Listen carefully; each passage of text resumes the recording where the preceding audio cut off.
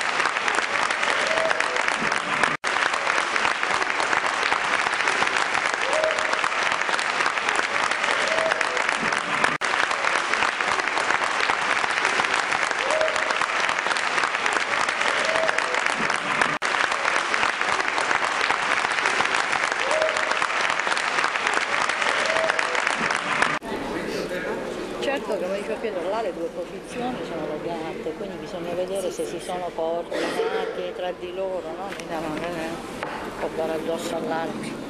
Ah, Eh, sicuramente. devono, eh, devono, bisogna un po' vedere come, no? come imposteranno. Potrebbe essere morse tua, vita mia. eh. Vabbè che ne grani in radice. No, c'è un uovo. Oggi. Come perciò Ah, io l'appello ancora. Eh? Mi ho scordato l'appello. Tanto mi scordo dell'appello io.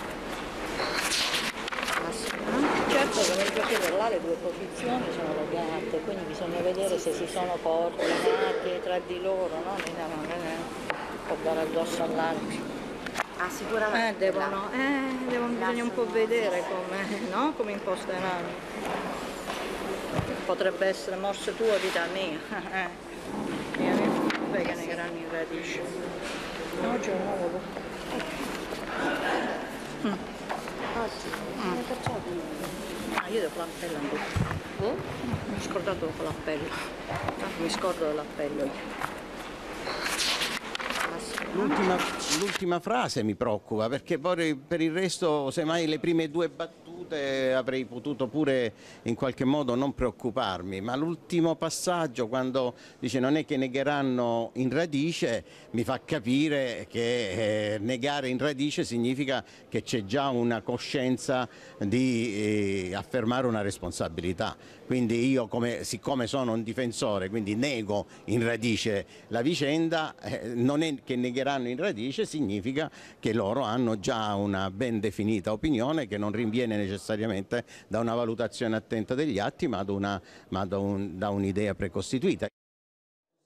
Ci avete dato una notizia che è una notizia perlomeno sconcertante. È una notizia rispetto eh, alla quale qualsiasi difensore si deve chiedere quale significato abbiano eh, quelle frasi e se di fronte a quelle frasi noi possiamo mantenere la serenità necessaria perché anche non solo i giudici devono essere sereni ma anche i difensori devono avere la loro serenità per poter eh, affrontare poi la discussione come se niente fosse.